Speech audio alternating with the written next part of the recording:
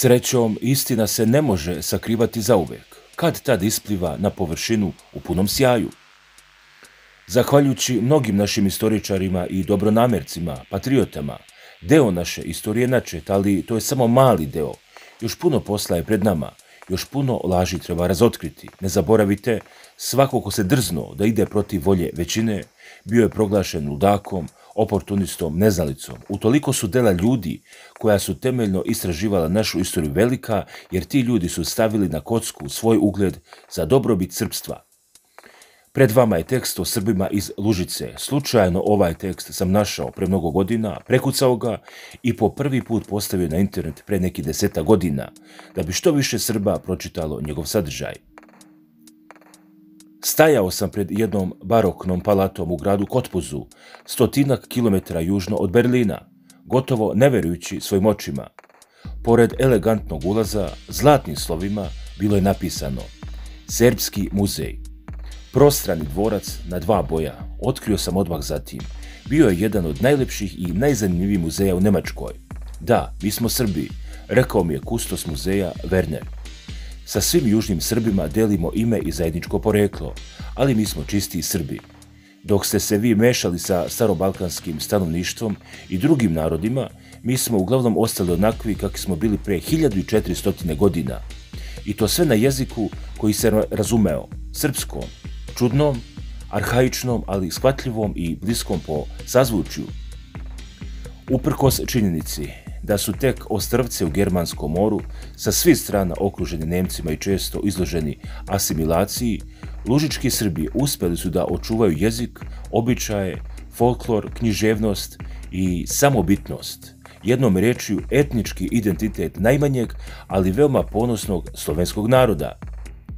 Kao pripadnici veće grupe polapskih Slovena, nastanjivali su nekada ceo prostor istočne Nemačke, prostrane teritorije istočno od reke Labe, pa sve do Odre i Visle u Poljskoj, podeljeni u brojna srpska plemena, Bodriće, Ljutiće, Lužane, Pomorane, Glomače, Rujane, Susejice, Neletiće i tako dalje.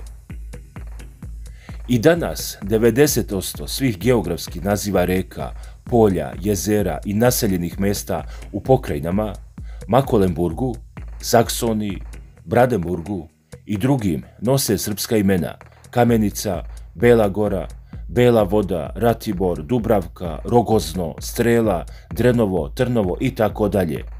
Iako tamo više nema Srba osim u Lužici, pomenutom ostatku nekada moćne srpske države, koja je cvetala između 5. i 10. veka naše ere, I evo prave enigme za severne Srbe. Odakle ovaj narod na prostoru današnje Nemačke, hiljadu i više kilometara daleko od nas? Postoje među naučnicima najmanje dve teorije. Jedna kaže da su se oni tamo doselili u ranom srednjem veku iz zajedničke postojbine svih Srba, negde iz današnje Južne Rusije ili još dalje sa Kavkaza, da su bili moćan ratnički narod koji je ovladao germanskim prostorima, kada su se odate ocelila germanska plemena Svevi i Vandali i stanovništvo ostalo razređeno. Sasvim suprotno ovoj, druga teorija tvrdi da su Srbi ovdje živjeli od uvek i da je baš ova oblast prapostojbina Srba. Prva teorija prihvaćena od zapadnih, naročito nemačkih naučnica, što i ne čudi. A druga teorija koju zastupaju narašta istoričara, među kojima opet najviše nemačkih, nimalo ne ustupa i danas dobija sve veći broj pristalica. Druga teorija poziva se na vizantijskog cara i pisca Konstantina, deseti vek, koji u svom delu o upravljanju državom piše da su balkanski Srbi došli iz zemlje Bojke, koja se na zapadu graniči sa Franačkom, a na istoku sa današnjom Poljskom i da su tu Srbi prebivali od početka a to je upravo tamo gdje ih nalazimo i danas, u istočnoj Nemačkoj. Ove navode potvrđuje bar pet istorijskih izvora starijih od Konstantina iz pera rimskih Vibius Sekvestar, germanskih, bavarski geograf Jordan i Alfred i vizantijskih Teofilakt Simokata, hroničara. Moćni savez Venda, Srba i Slovena suvereno je vladao ovim prostorima i držao mnoštvo svojih utvrđenih gradova – Stargrada, danas Oldenburg, blizu granice sa Danskom, preko Lupeka danas Libek na Baltiku, sve do njihove prijestolnice i najveće luke na Baltičkom moru, Vinete, veličanstvenog grada kome danas nema ni traga.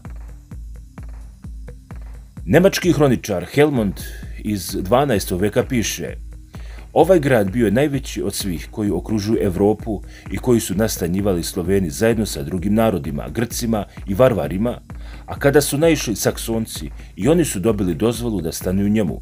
Jasno je dakle ko je ovdje bio starinac, a ko doseljenik.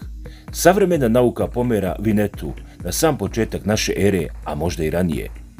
Ruševine Vinete između ušća Odre i grada Kamanje u današnjoj Pomeraniji od Pomerana srpskog plemena koje je nastanjivalo obalu, mogle su se vidjeti u Baltiku još u 11. veku, a onda su bile prepuštene čudima hladnog mora.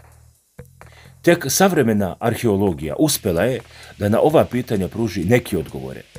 Po tipovima keramike, oruđa i staništa smatra se da je praistorijska lužička kultura nastala na teritoriji današnje Lužice 600 godina pre Hrista, veoma srodna drugim pro-slovenskim kulturama na istoku i da je stoga pretpostavka o prapostojbini sasvim verovatna.